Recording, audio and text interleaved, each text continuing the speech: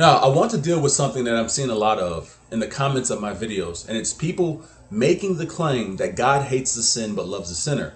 Now, I'm not going to get into why it, that's wrong. Okay, it's obviously wrong. But I want to let R.C. Sproul deal with that later on in the clip. What I'd like to hone in on is the heretical ideology regarding the accountability of the sinner. Whoever came up with that phrase, God hates the sin and loves the sinner, was simply attempting to give the sinner a scapegoat. Because if God hates my sin and not me, the sinner, it's as if my sin is this exterior being that's outside of my control. And that erroneous belief essentially gets the sinner off the hook. If you believe this, repent, because that train of thought might send you to hell. When everyone is talking about the love of God and God loves me just as I am, how would you respond? The kingdom of God is not Mr. Rogers' neighborhood. Uh, I think there are few things more dangerous than preachers out there preaching that God loves everybody unconditionally.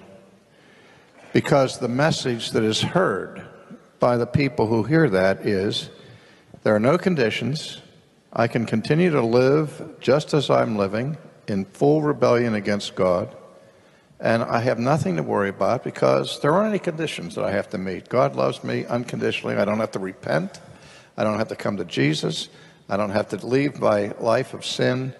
Uh, no conditions, no strings attached. God loves me just the way I am. He's glad that I turned out so nicely, and so on. But there is a sense, I've written a book on the love of God, where I talk about the three ways in which theologians speak about the love of God God's love of benevolence, where God has a good will towards everybody, believers and non believers beneficent love of God. God gives benefits to people, whether they're believers or not believers. The rain falls on the just as well as on the unjust.